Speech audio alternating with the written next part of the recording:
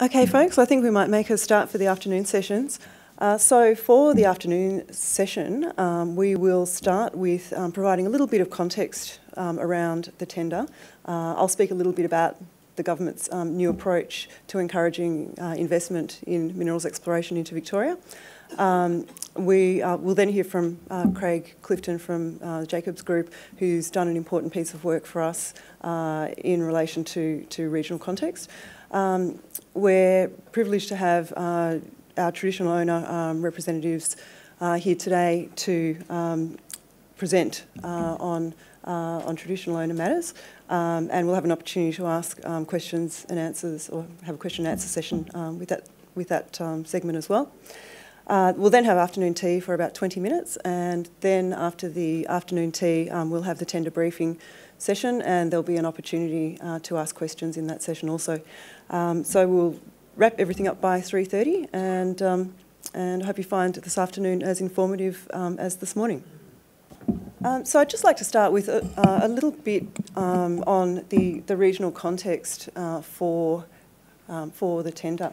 Uh, so in August 2018, uh, the Victorian Government released its um, State of Discovery, thanks, uh, State of Discovery Mineral Resources Strategy, uh, and that's Victoria's blueprint for generating investment, jobs and economic development for our regions through fostering uh, exploration uh, and uh, development of our mineral resources in a sustainable way. So uh, the Mineral Resources Strategy outlines an integrated approach um, that the government is taking uh, to attracting investment and that approach includes um, geoscience research and uh, compiling pre-competitive geoscience information, um, which we heard some fantastic examples of this morning, and particularly focusing in on um, areas where we believe the greatest prospectivity exists. Um, understanding the local uh, land features and um, aspects and special places of importance to our traditional owners and to local communities. Uh, engaging and working with local communities and uh, traditional owners and other stakeholders um, within those areas, um, both uh, to um, in, in, the sense of sort of working up uh, an opportunity and also um, with explorers working with those parties as part of their exploration programs throughout um, and conducting competitive tenders, uh, in some cases, to attract um, capable and experienced explorers with good social values. Uh, and those tenders are particularly around the, um, the, most prospective opportunities here in Victoria. So um, many of you might may be aware that this approach was initially trialled in the Staveley uh, Arc in Western Victoria uh, last year, as John Krobleski alluded to this morning. And we've certainly uh, learnt, uh, learnt some lessons from uh, that process, which we've carried forward into uh, the Goldfields um, ground, uh, ground release approach. So um, understanding the local land context, um, features and the as aspects and special places um, offers several benefits. So um, it helps us as government to identify areas um, that may be suitable for exploration, but it also provides explorers the opportunity to have a greater understanding of the regional context um, in which their exploration programs um, may be conducted. So for these reasons, uh, the department undertook to uh, commission Jacobs uh, to compile an inventory of key features and special places of, of importance throughout the ground release area. Uh, and also to assess the potential impacts of exploration and mining, um, given the existing regulatory uh, and legislative controls uh, that exist. Um, so Jacobs has produced a report um, with the outcomes of their work and also um, GIS data sets, both of which are available um, for potential tenderers. Um, they're available on the tenders website for download. Um, so I'll just mention that in the process of conducting the study, uh, there were several information sources used. There were public information sources used, which Craig will talk more about. Um, but we also undertook really strong consultation with a whole range of stakeholders, local stakeholders within the ground release area, uh, to ensure that um, those data sets would be as complete as possible. So Craig will talk a little bit more about that.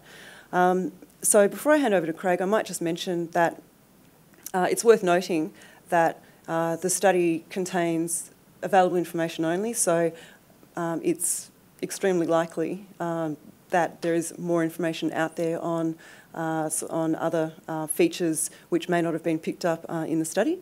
um, and the assessments um, were conducted by Jacobs. Um, so I'll just mention that the mineral resources strategy that um, John alluded to this morning, this is what it looks like. It's available on the website for download. Uh, and as I mentioned, the accompanying data sets um, also are on the tender's website um, with the tender reference number of NCVG uh, 2019. Uh, you don't need to remember that because these slides will all be um, later provided on our website, so they'll be available for download. Uh, and I think, as someone mentioned this morning, um, these sessions are all being video recorded as well to ensure that if you missed anything, you can go back and watch the video recordings. And also for folks who weren't able to make it today, they'll have access to the same information that all of us here have had access to. Um, so without further ado, I'd like to uh, welcome Craig to the podium uh, to talk us through the land inventory assessment uh, and uh, its key findings. Thank you. Thanks for that introduction, Fiona. Um, what I'd like to talk to you about this afternoon is the, the project, as Fiona was talking about, the North Central Victorian Goldfields Land Inventory and Assessment Project. The project is one that fits in with the, uh, the new strategic approach to ground re release and exploration, as Fiona was talking about. And in particular, it covers off on some aspects of the resource and land use planning and the engagement of, with uh, communities and, and traditional owners and stakeholders. The project itself did a number of things which are indicated on the, the left hand of the slide there. So we identified what we called regionally significant land uses, values, areas and other features, things that collectively we call features of interest. We also, through that process, identified features that would be of high interest to local communities. Those features were represented in spatial data sets and compiled in an inventory uh, that has the features, but also indicates infrastructure that may be used to support exploration and any subsequent mining activity.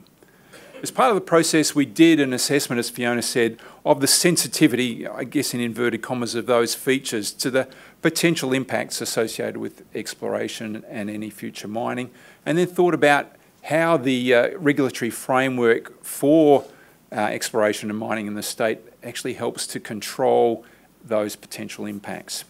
And I'll step through that project and the, the various outputs from that process um, in this presentation. First of all, talking about the inventory, it was the, the first main part of the project. The inventory itself was essentially a, a data mining exercise to find out information about those features of interest, compile that into a report, but particularly into a, a geospatial database. We've drawn information from that from a range of data libraries, uh, records that are in the public domain, as well as creating data sets that, uh, that represent features of interest that are spelled out and, and documented in various plans and strategies and reports, for which there may not actually be easily obtainable spatial data. As I said before, the information contains uh, data about the features of interest, but also about uh, infrastructure that could support exploration and mining. And we call these explicit sources. So these are the kinds of information that plan strategies, existing data sets say are features of regional significance also through the consultation process, particularly through the consultation that the department did and we did with local government, highlighted features that were perhaps more implicit, where they're known to be of value or recognised by local communities. And there wasn't necessarily any formal existing uh, spatial data that would represent those things. So part of the process was to create data sets that we could compile in that inventory to allow people to know about those things. And the process was governed by a set of definitions that helped us, and, and, a, and, a, process that helped us provide a process that was transparent, was consistent, and could be repeated. And the process that we took for this was similar to the, the one that we adopted for the Staveley project. In terms of the process itself, the first thing to do was to establish those de definitions and develop an initial set of criteria by which we might uh, define those features of interest the kinds of criteria are there on the, the right-hand side of the slide. So some explicit, things like it's listed in an inventory of uh, natural or cultural significance, a matter that might be the subject of an international treaty, for example, migratory birds uh, listed with the uh, uh Japan, Chinese, Korean migratory bird agreements, something that's defined in a plan or strategy, for example, key natural resource management areas are identified in the North Central Catchment Management Authority's uh, regional catchment strategy, things that are recognised to have particular environmental value, population centres and the like. So we worked through that, defined those criteria, ran some workshops with a range of regional authorities, which included various state government agencies, local governments, and we had a workshop with a couple of the traditional owner groups as well to talk through this process. The information, as I said, was compiled into an inventory, uh, which is available to you and then documented in a, in a report. And as I said, it contains those explicit and implicit features.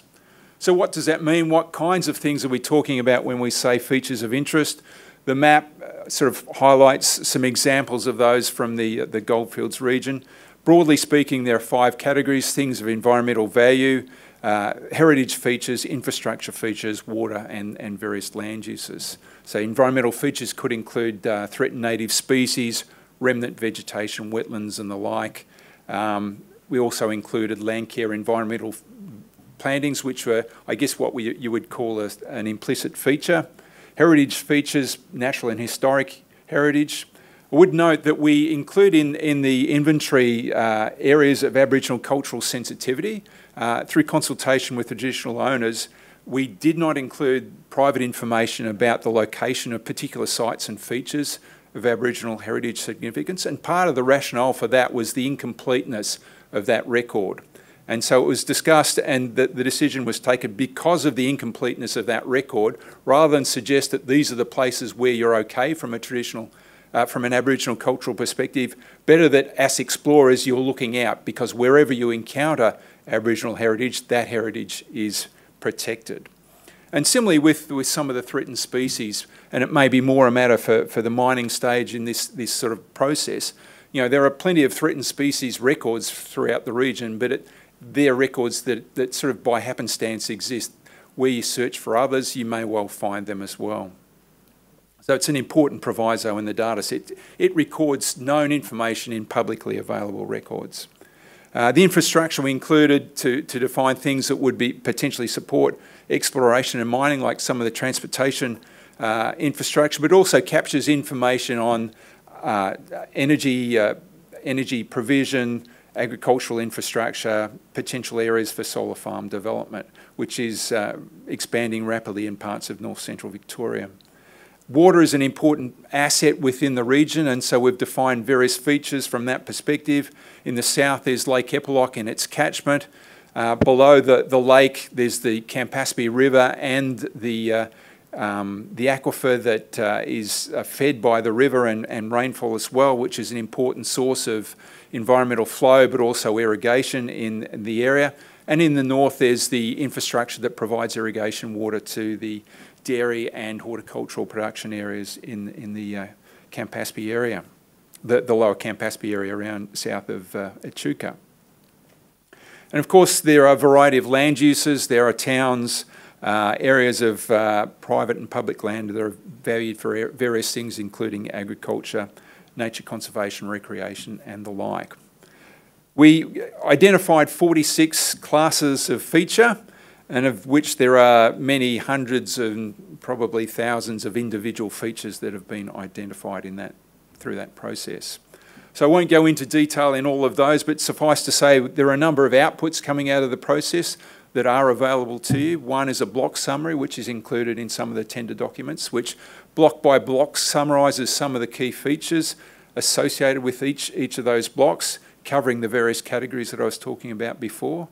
Uh, the raw geospatial data has been consolidated into, into a single database so that you don't have to do what my team did and bring bits and pieces of data from all sorts of places. This is a consolidated reference of the known information relating to the Central Victorian goldfields. And we also prepared a gridded data set, which allows us for each 500 by 500 metre grid cell in that area to identify what are all, what are all of the features of interest within that particular grid cell. So it, it takes away the, this sort of spatially explicit nature of that information, um, but tells you for this 500 by 500 metre grid area, you've got, you know, you've got some native threatened species, you've got some uh, uh, Aboriginal cultural sensitivity, you've got a river, you've got a part of Lake Eppalock's catchment or whatever the case may be. And so the, the map on the right-hand side, you know, the bluey, greeny colour end of the spectrum is showing where you've got concentrations of features of interest, which tends to follow the, the sort of drainage pathways there. So those two geospatial data sets are available to you uh, and as, as a product from this, this project. The second part of the project that we did was looking at, well, what may it mean if these features are there and exploration and mining activities took place? Uh, what is the sensitivity of those features? What may happen? And a way, our, our way, our method for assessing um, what we might call broadly sensitivity was using sort of vulnerability as a framing tool. And it's something that is commonly used in climate change um, and uh, has these three key dimensions. It has sensitivity, so you know, are the features sensitive to the hazards that may occur? Exposures, are they likely to experience those hazards or any effects from exploration and mining? And in, in a sort of a, a sort of vulnerability um, context, we usually use adaptive capacity, but here we're talking about regulatory controls. So can the regulatory controls and planning process mi mitigate those potential effects? And so um, went through a process of thinking about these things. So the first aspect is exposure, and so that really is about what the inventory has compiled. What are the features that are out there? Um, and also, to what extent does the regulatory framework govern the exposure of those features to, uh, to activities associated with exploration and mining? And I'll go back into that in, in a moment. We, talked, we thought about, well, what kinds of hazards are potentially associated with exploration and mining, and broadly related them into those, those categories there. And as I said, considered those sort of two phases in the, in the life cycle. And then thought about what the uh, leg legislative and planning controls. How effective could they be, not just in governing exposure, but mitigating, helping to control the potential effects of those activities uh, on the, the various features of interest. First of all, thinking about exposure. So the regulatory framework, you know, particularly the uh, Mineral Resources Sustainable Development Act, influences the exposures of, of exposure of features. Broadly speaking, there are two classes of land, land that's available for those activities, land that is not available. Land that's unavailable within this area is really is national park. Um, and so there are areas of national park within and adjacent to the Goldfields area. There's also a proposed national park in the, uh, in the um, Wellsford Forest area. It's currently state forest, uh, but is proposed under the, the VEAC recommendations to become national park. If that recommendation is accepted, then that means not that exploration can't occur, but it can only occur below 100 metres depth. The other category of land, which is most of the land within this area, is potentially available, although the regulatory framework has uh, has processes that, that sort of influences the, the level of protection of things in, in parts of that area. So there's restri restricted public land, which considers Crown land that follows uh, some watercourses through the area, nature conservation reserves, land in pro proximity to existing housing uh, uh, for exploration, but more particularly mining, land within 100 metres of recorded Aboriginal historic heritage features, and land within 100 metres of land that's vested in the water authorities. And so you can see in the north there's a whole lot of land that's sort of slight, shaded quite, quite uh, a little bit more lightly than the rest of it. That's representing the uh, irrigation, drain, irrigation channels and, and drainage structures that are quite pervasive through that irrigation area. So there's an intensity of infrastructure in that space. And very important to point out as well that under other regulation or other legislation apart from the MRSDA, uh, Aboriginal and historic heritage features, whether they've been recorded or not, may not be disturbed without the appropriate permissions. Really important because that provides protection of those features from potential exposure to exploration or subsequent mining activity. And so you can see, you know, different levels, the green highlighting the least exposed, and that's an area of national park which is actually is not is adjacent to but not within the ground release area. And then you've got uh, various others, and the majority of the area is, is agricultural land, which is uh, you know fully available for exploration, subject to the sort of normal planning constraints. Um, I guess when Lake Eppalock's fill, it might be difficult to do some aspects of exploration, particularly from a ground perspective, but there's at the moment plenty of freeboard in Lake Eppalock as well. Um, sensitivity to exploration. I guess that's, you know, what is the sensitivity of those features to hazards that may be associated with the activities? And we looked at these categories, so, you know, displacement or disruption of the existing land use. So would vegetation be disturbed? Would, and, and you know, not so much for exploration, but for mining, for example, would that existing agricultural uh, land use uh, be, be disturbed? Would it have an effect on the recreational amenity or the, the cultural value of the place? Is there opportunity for the contamination of land, water, or air? May it, will it, would it create noise that, that would disturb uh, those features? Would it create geotechnical hazards associated with the movement of rocks or soil? Um, would there be changes in the surface water or groundwater conditions? So would there be dewatering, for example, or other uh, influence on surface water flows because land's contained within a, in a structure that sort of diverts flows? And would it uh, would the activity uh, use or infrastructure, you know, for example, energy infrastructure, and so compete with other uses or water infrastructure? And so the exploration was carried out looking separately at uh, exploration carried out under the code of practice for low impact exploration as well as uh, more intensive activities that might be covered by a work plan.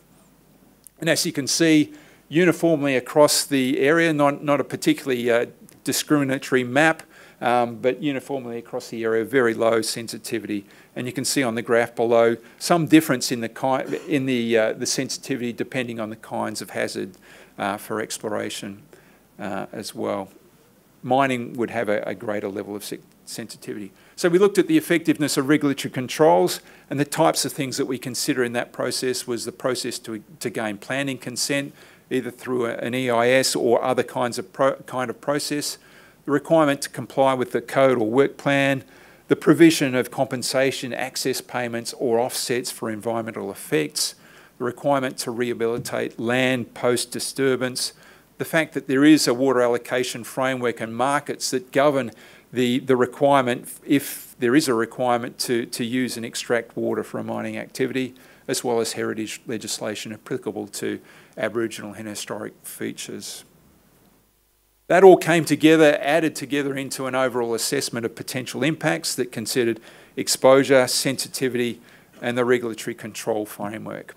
And you can see some variability, again, much of it associated with the, uh, the, the, uh, the sort of places where exposure is affected, low vulnerability in those places like national parks that are where mining cannot or exploration cannot occur, uh, others where you've got protections because of the, the kind of space that they're, they're in. And, and very little difference between those two phases of the exploration, either conducted under a code or uh, a work plan, reflecting similar levels of exposure. Uh, the regulatory framework operates effectively in both cases, and generally speaking, uh, exploration activities are relatively small scale, short in duration, uh, and so that, particularly relative to mining, and so that reduces the overall sensitivity. And the final slide uh, is the outputs of that process. So we have a final project report which, as Fiona uh, said, is available to you. There are the data sets and then the block summary, which is part of the, the tender documentation. Uh, so, you know, the intent is that this would be a resource that, to the extent that you're interested, is available for you to, to use as part of your endeavours.